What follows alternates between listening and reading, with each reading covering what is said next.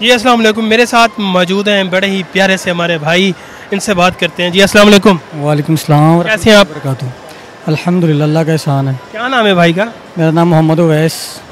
محمد اویس آپ کیا کام کرتے ہیں آپ؟ میں ایک ایس ایم عبداللہ کمپنی ہے اس میں آپریشنل مینیجر ہوں پنجاب کا۔ اچھا ماشاء اللہ اس کے علاوہ کیا کرتے ہیں؟ اس کے علاوہ کچھ بھی نہیں بس اسی پہ ایفرٹ کر رہے ہیں الحمد للہ اچھا مجھے یہ بتائیں باحیثیت قوم ہم کہاں کھڑے ہیں؟ بڑا سنجیدہ سوال ہے آپ نے اور بڑا سنجیدہ سا جواب دینا آپ نے۔ بحثیت ہم قوم ہم جہاں پہ بھی کھڑے ہیں اپنے ہی مطلب کے لیے کھڑے ہیں۔ مطلب کہ جو ایک سب سے اچھی جو بات ہے اور جو اسٹرانگ بات ہے نا وہ بندے کا اپنا عقیدہ ہوتا ہے۔ جب آپ اپنے عقیدے کے اوپر ڈٹے رہیں گے نا تو انشاءاللہ بہت ساری مشکلات آپ کی ویسے حل ہو جاتی ہیں۔ جب آپ کبھی اس در پہ کبھی اس در پہ اس در پہ جائیں گے تو یہ چیزیں آپ کے لیے کمپلیکیٹڈ ہوتی جائیں گی۔ بالکل ایسے ہی جواب ہے۔ نہیں آ, اس کو کون ٹھیک کرے گا؟ ہمارا معاشرہ کس طرف جا رہا ہے؟ ہم کس طرف پہلے تو ہمیں سب سے پہلے خود ٹھیک ہونا پڑے خود ٹھیک ہونا پڑے گا۔ جیسے کہ نماز ہم نہیں پڑھتے روزہ ہم نہیں کرتے زکوٰۃ ہم نہیں دیتے۔ اگر ہم اللہ تعالیٰ نے ہمیں صاحب حیثیت کر دیا حج کے لیے حج کے لیے ہم جاتے نہیں ہیں پیسے بچا لیتے ہیں۔ یہ یہاں کاروبار پہ لگا دیں گے یہاں لگا دیں گے۔ تو اسی وجہ سے ہمارے اوپر مشکلات ہیں۔ سب سے پہلے ہر بندے کو خود ٹھیک ہونا پڑے گا۔ اللہ اپنے اللہ کو راضی کرنا پڑے گا۔ آپ آپ صلی اللہ علیہ وسلم کو راضی کرنا پڑے گا۔ ان کی تعلیمات پہ عمل کرنا پڑے گا۔ پھر انشاءاللہ دیکھیں آپ ترکی میں دیکھ لیں طیب اردگان صاحب میں ان کی اگزامپل دیتا ہوں۔ جب وہ اپنی پارلیمنٹ میں جاتا ہے تو وہ خود تلاوت کرتا ہے۔ ہمارے یہاں پہ حکمران ہیں ان کو پیچھے آپ نے دیکھا ہوگا ایک صاحب ہے ان کا نام لینا میں مناسب نہیں سمجھتا۔ وہ پارلیمنٹ میں گئے ہیں ان کو تلاوت ٹھیک سے نہیں آتی تو ہم کائے کے مسلمان ہیں۔ بالکل ایسے یہ تو حقیقت ہے۔ ہمیں تلاوت نہیں ٹھیک کرنی آتی ہمارا قرآن پاک کے ساتھ لگن نہیں ہے نماز ٹھیک سے ٹھیک طریقے سے نہیں آتی۔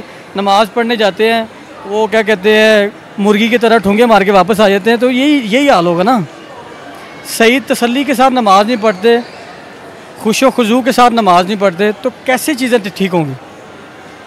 بحیثیت قوم باحثیت معاشرہ۔ آپ نے ماشاءاللہ بڑی باتیں اچھی کی ہیں آپ کی باتیں دل کو لگی ہیں۔ ٹھیک ہے۔ آپ ہماری قوم کو، ہمارے لوگوں کو جو آپ کو دیکھ رہے ہیں، ان کو کیا پیغام دینا چاہتے ہیں؟ بس ایک پیغام یہی ہے کہ ایک تو بالکل اپنے آپ کے اوپر جو اللہ تعالیٰ نے آپ کو بھیجا ہے اس دنیا میں، اس کے، اس کا، اس کے کام کو پورا کرے۔ جیسے نماز پڑھیں، اللہ تعالیٰ کو یاد کریں، حلال رزق کو تلاش کریں۔ نہ کہ حرام رزق کو۔ ہم نے حرام رزق کو اس طرح حلال کر لیا ہوا کہ اگر یہ ہو جاتا تو حل- حرام تھا نا، ورنہ تو حلال ہی ہے۔ جیسے سود کو فکس کر دیا یار سود تو فکس ہے نا لیکن ہمارے لیے تو حلال ہے ایسے نہیں۔ جو چیز حرام ہے اس کو حرام کرے جو حلال ہے اس کو حلال کریں بس۔ حالات جو بن گئے ہیں ہر بندہ پھنس گیا۔ ہے ایسے ہی ہے۔ ہر بندہ پھنسا ہوا ہے۔ اگر کوئی حرام بھی کھا رہا ہے نا اسے پوچھتے ہیں نا وہ اس کو حلال کر دیتے ہیں۔ ایسے ہی ہے۔ ٹھیک ہے؟ تو اس ان حالات سے کیسے نکلا جائے گا؟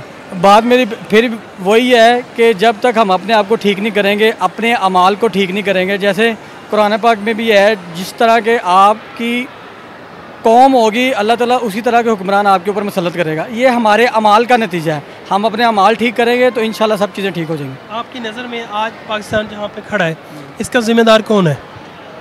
ہم خود ہیں۔ عوام ہے؟ بالکل خود ہے حکمران نہیں۔ نہیں۔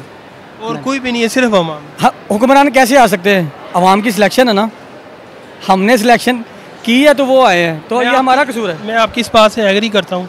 کہ آج جہاں پہ ہم کھڑے ہیں اس کے ذمہ دار کوئی پولیٹیشین نہیں ہے۔ ہم خود ہیں۔ ہم خود ہم خود ہیں۔ چلیں بڑی ماشاء اللہ بڑی اچھی باتیں آپ نے کی ہیں۔ آپ کا بہت شکریہ سر۔ تھینک یو جزاک اللہ۔ السلام علیکم۔